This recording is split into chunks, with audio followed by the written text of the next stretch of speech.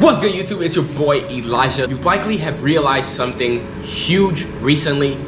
Your life tends to move in waves and that means sometimes it's a large wave and sometimes it's a small wave or even sometimes it's just ripples.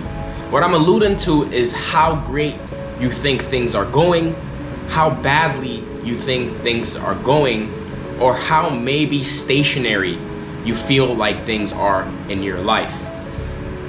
Recognizing this is great, but as we find new responsibilities in this world, it is important for us to cling onto good habits that will challenge us in different ways creatively, physically, or socially. These habits could be starting arts and craft, writing poems, music, or a book. It could also be playing sports, biking, or hanging out with friends that want to explore a similar experience in life. It's very easy to get caught up in the rat race. I know this from experience. Sometimes I'm still there. Sometimes when my headspace is different, I'm not.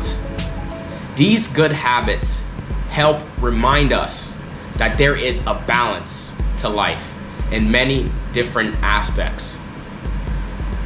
Success doesn't just mean one thing. It's not about money or power, although I really believe those are qualities and materials that a successful person has access to. To me, success is contributing to build a community that brings people together. Our habits are directly tied with success because our habits are the actions that we take to shape our daily experience. I want to also put out there that I understand that not everyone has access to the same habits and opportunities. Some people are so surrounded by bad habits that it makes it super difficult because you feel trapped. For example, if you have a bad habit of vaping and you want to quit, but your roommates all vape, this doesn't mean you're doomed. It just means you'll need a lot more self control when you're around your friends, which is truthfully difficult, but possible. Remember, as you pick your habits, you're also selecting the type of life that you want to live. We all only live once, so please, please, please choose wisely.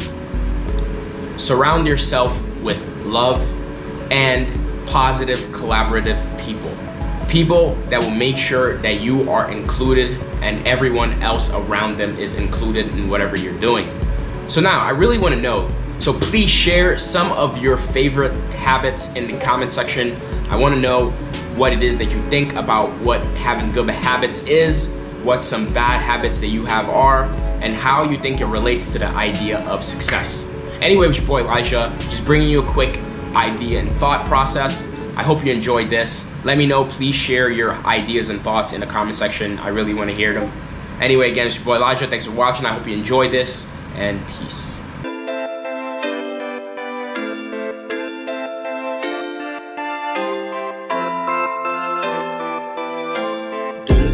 no one put the facts to the masses. Pouring out the deuce in an all black outfit. Been